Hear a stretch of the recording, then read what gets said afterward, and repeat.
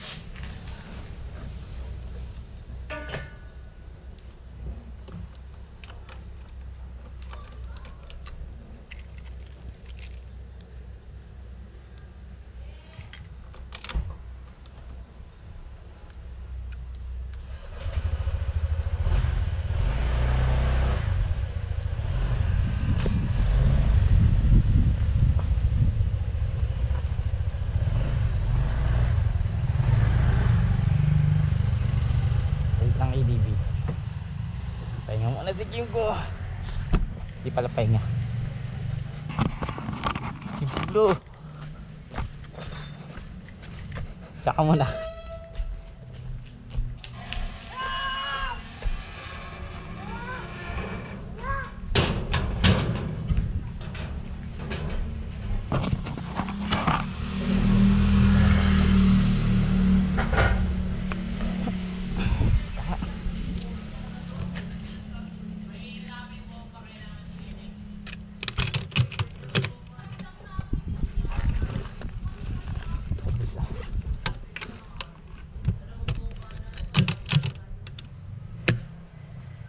Sabi niya, wag daw bida-bida. Chill ride lang tayo ngayon.